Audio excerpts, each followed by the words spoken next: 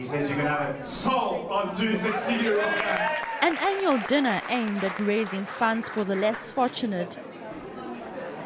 From the most basic and inexpensive ingredients like samp, sugar beans, peanut butter, and pilchards, these celebrity chefs join hands to whip up gourmet meals.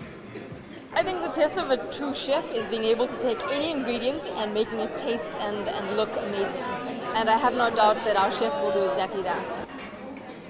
Well, I think we have uh, an obligation, really. Um, you can't just cook fancy food every day for the privileged few when you know there's hunger around the corner. And we've been involved with feeding children for many years now, and it's my fourth time I'm doing it with the Peninsula School Feeding Association.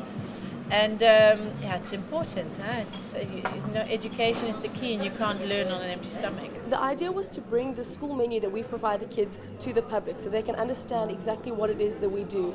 We don't provide exactly the same meals because we've got celebrity chefs involved, but we do provide a meal based on the ingredients we provide the kids. So it creates awareness around the problem of hunger in schools.